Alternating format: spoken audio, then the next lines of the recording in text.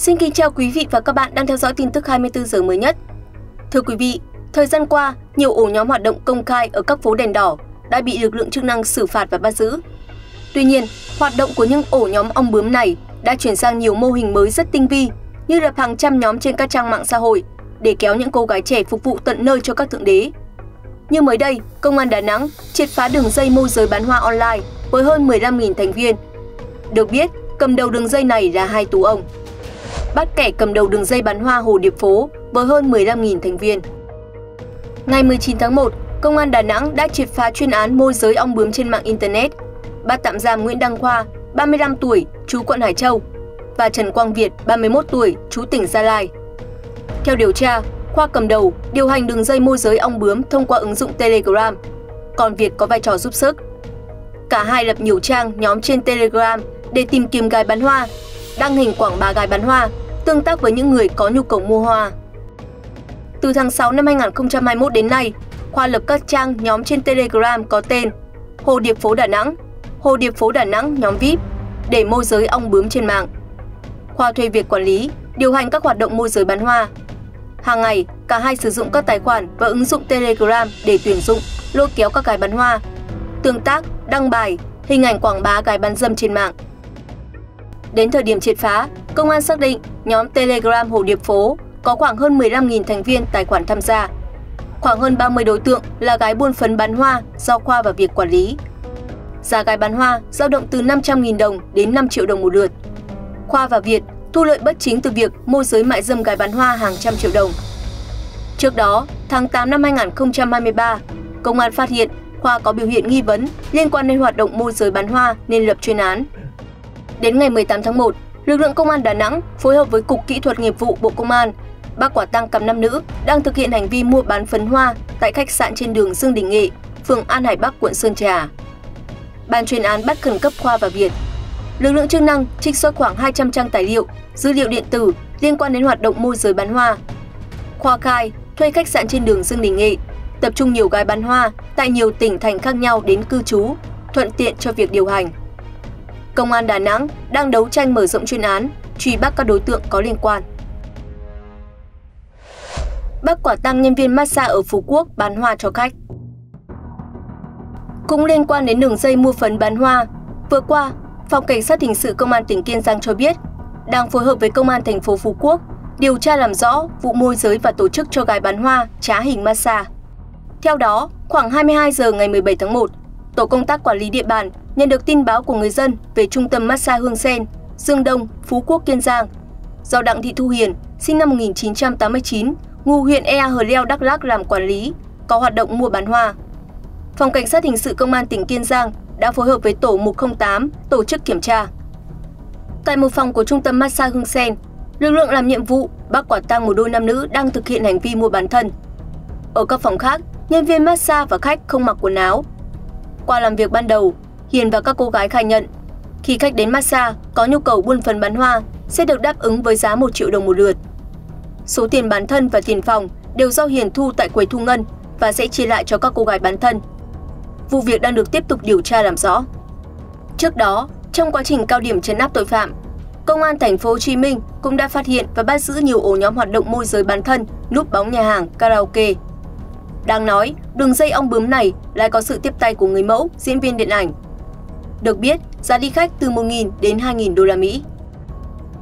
Công an thành phố Hồ Chí Minh phát hiện đường dây môi giới bán thân có nhiều người mẫu diễn viên điện ảnh hot girl, sinh viên đi khách giá từ 14 đến 50 triệu đồng.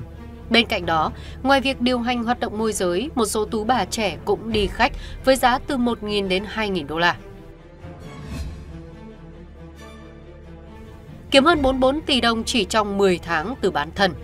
Trong bối cảnh kinh tế khó khăn, nhưng nhà hàng Fortune trên đường Trần Hưng Đạo, quận 5, thành phố Hồ Chí Minh vẫn dập dìu tài tử gia nhân đón đưa với nhiều biểu hiện bất thường.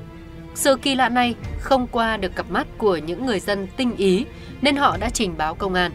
Tiến hành nắm tình hình trinh sát phòng cảnh sát hình sự công an thành phố Hồ Chí Minh phát hiện một tổ chức môi giới đi khách có tính chất phức tạp do người nước ngoài điều hành, núp bóng nhà hàng karaoke không phép với hàng trăm tiếp viên nữ trẻ đẹp Phương thức hoạt động của các đối tượng là sau khi khách đa phần là người gốc Hoa từ Trung Quốc, Malaysia ăn uống xong sẽ điều đào cùng khách tới các khách sạn vệ tinh để vui vẻ. Dưới sự chỉ đạo của Ban Giám đốc Công an Thành phố Hồ Chí Minh, Phòng Cảnh sát Hình sự xác lập chuyên án triệt xóa. Ngày 17 tháng 12 năm 2023, Phòng Cảnh sát Hình sự phối hợp Phòng Quản lý xuất nhập cảnh, Công an Thành phố Hồ Chí Minh và Công an quận 5 bất ngờ kiểm tra nhà hàng Fortune. Phát hiện tại đây có nhiều tiếp viên nữ ra ngoài bán thân tại các khách sạn ở quận như là PHV. Tiếp tục kiểm tra tại các khách sạn trên, cơ quan điều tra bắt quả tăng 5 cặp nam nữ đang vui vẻ. Trước tài liệu, chứng cứ thu giữ và qua đấu tranh, các nữ tiếp viên khai nhận là nhân viên của nhà hàng Fortune đi vui vẻ với khách, giá từ 5 đến 12 triệu đồng một đêm. Theo đó, nhà hàng Fortune do Zhang Lei sinh năm 1975 quốc tịch Trung Quốc làm chủ, có khoảng 200 tiếp viên nữ phục vụ. Giang Lei tổ chức hoạt động môi giới đi khách với thủ đoạn tinh vi, với sự giúp sức của một số cộng sự trong nhà hàng. Đối tượng phục vụ chủ yếu là người nước ngoài, gốc Hoa. Mỗi ngày tại nhà hàng này có hàng trăm lượt khách đến ăn uống và vui vẻ với tiếp viên nữ ở các khách sạn sau đó. Qua kiểm tra sổ sách của nhà hàng Fortune, cơ quan chức năng xác định từ tháng 2 năm 2022 đến tháng 12 năm 2023, Zhang Lei đã thu lợi bất chính từ hoạt động đi khách, núp bóng nhà hàng với số tiền đặc biệt lớn khoảng 44 tỷ đồng. Khám xét nhà của Giang Lây, phòng cảnh sát hình sự phát hiện đối tượng cất giữ hơn 21,5 tỷ đồng. Đây là số tiền thu được từ hoạt động môi giới đi khách qua việc kinh doanh nhà hàng karaoke biến tướng. Tất cả số tăng vật trên đã được lập biên bản tạm giữ, xử lý theo quy định của pháp luật. Qua xác định vai trò, hành vi của từng đối tượng liên quan, cơ quan cảnh sát điều tra công an thành phố Hồ Chí Minh tiến hành bắt khẩn cấp và tạm giữ Giang Lây, Đinh Thị Thanh Tuyền, Nguyễn Hữu Trí, Nguyễn Quốc Anh, Đỗ Xuân Hoàng, Lê Thị Diễm, Trần Thị Thúy Liễu cùng về hành vi môi giới đi khách. Vụ việc đang được điều tra mở rộng. Hoa Khôi người mẫu bán thân trong thực tế, việc bán thân trong giới người mẫu, diễn viên điện ảnh, tiếp viên hoa khôi thỉnh thoảng vẫn xảy ra. Gần đây, đẩy mạnh nắm thông tin về hoạt động của các đường dây đi khách, Phòng Cảnh sát hình sự Công an thành phố Hồ Chí Minh phát hiện một đường dây môi giới đi bán thân có nhiều người mẫu diễn viên điện ảnh, hot girl, sinh viên đi khách, giá từ 14 đến 15 triệu đồng. Điều đáng nói ngoài việc điều hành hoạt động môi giới bán thân, một số tú bà trẻ cũng đi khách với giá từ 1.000 đến 2.000 đô la. Ngày 7 tháng 12 năm 2023, Phòng Cảnh sát hình sự Công an thành phố Hồ Chí Minh chủ trì phối hợp với Công an hai quận 5 và quận 10 bất ngờ kiểm tra hai khách sạn. Kết quả tại phòng 506 và 507 của khách sạn A, phường 15 quận 10, lực lượng công an bắt quả tang MU sinh năm 2000 và TH sinh năm 1996 đang bán thân với giá 50 triệu đồng một lượt. Xác minh nhanh, được biết MU là người mẫu ảnh còn TH là hoa khôi, một cuộc thi sắc đẹp trong nước. Cùng thời điểm tại hai phòng của khách sạn B, phường 2 quận 5 có hai người đẹp đi khách với giá 14 triệu đồng một lượt. Cả bốn cô gái này đều khai được Hồ Thị Hạnh và Đậu Thị Liên môi giới bán thân.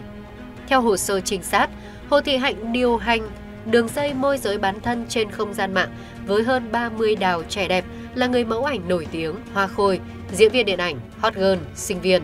Hạnh tự xây dựng cho mình một hình tượng cô gái trẻ thành đạt trên mạng xã hội với hàng ngàn những lượt người theo dõi hành thường phô trương cuộc sống sang chảnh, du lịch nghỉ dưỡng tại những nơi nổi tiếng, mua sắm đồ hiệu không tiếc tiền.